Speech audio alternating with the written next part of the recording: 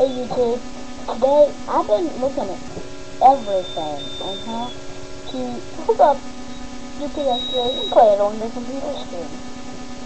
And I haven't seen any really good ideas because they're all wired. Why can't they come up with something wireless like I did? Well, you have to have one thing. A webcam. And of course you have to have a game console TV. And a computer of course. But no, know you have a computer if you're watching this.